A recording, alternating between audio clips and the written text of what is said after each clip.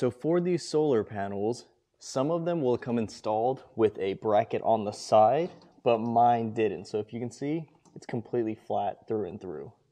I ended up buying Renogy mounting brackets.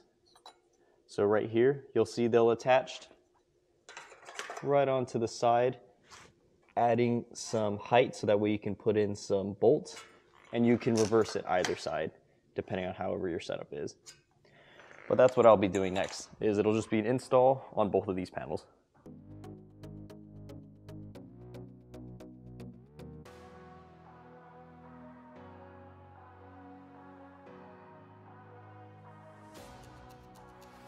All right, so we're on top of the van and there's all these solar panels that we're actually taking off because they're the flexible ones, not the rigid ones. And the gist of it is the new ones I got are gonna be more wattage.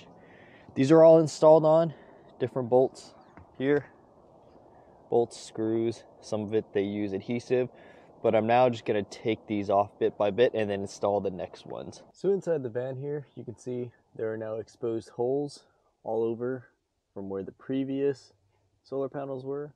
So we're just gonna go up there, clean them up, and then use some JB Weld and uh, basically just seal them back up, make sure they're all watertight. I will say in here, I'm gonna just put some duct tape on the bottom side of this just to give it some type of backing, but really that's just the gist of it. Just want to show you what it looks like on the inside and then we'll pop upstairs and show you uh, what it looks like up there. So as you can see, it's very dirty up here. Um, you know, there's residue, rain, water, dirt, all that kind of stuff to the point where even if I step, you can see new footprints. That's what I'm going to be cleaning. Is just cleaning this off before I put the JB weld it does mention that it wants it to be pretty clean or fairly clean, but all I'm doing is just really covering up a lot of these holes. So I'm gonna have to, you know, uh, wipe around there, maybe scrape some of the rust off, but just really smoothing it out.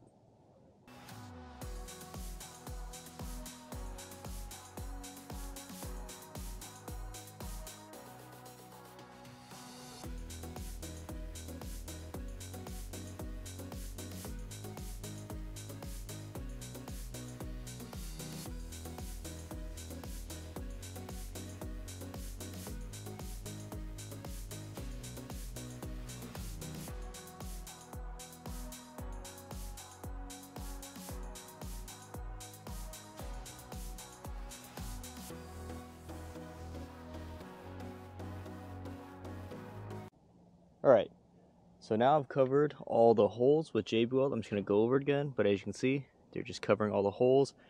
Put on an extra thick layer to just make sure that it would cover inside the holes and around. But really, all this was just to keep out the water, obviously. And then soon after, we'll be going and installing the solar panels on top here. I'm just probably clean it over again, make sure this all sits through, give it a couple water tests, and then from there, I'll install the solar panels.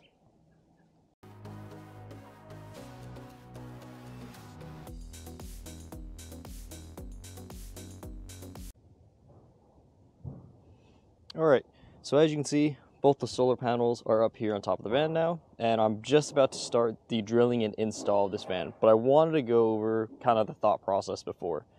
So first, this one is actually where, this is gonna be installed exactly where it's at. I left space up here just in case I wanted to add another solar panel or a fan. So there's roughly tw 28 to 32 inches from over there where that line is to the end of here. So whether I want it to be a solar panel or a fan, I can still fit it there.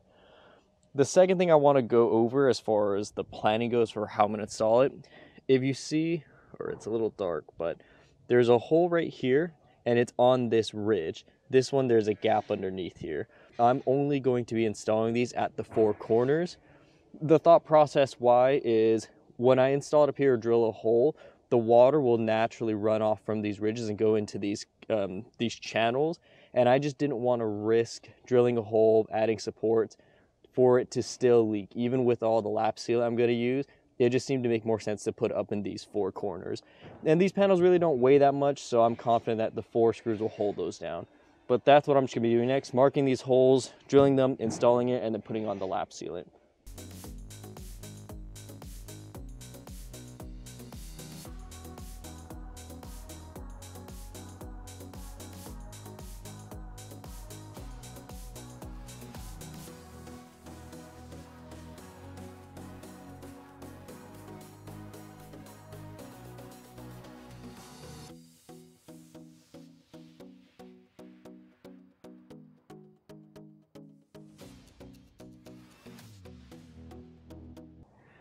All right, so I got a couple more things done here and it's been about 24, 48 hours since I last took a video. So, right, all the install happened here. I did add this box here, which I'll show you, and I connected the lines for the two solar panels to connect together.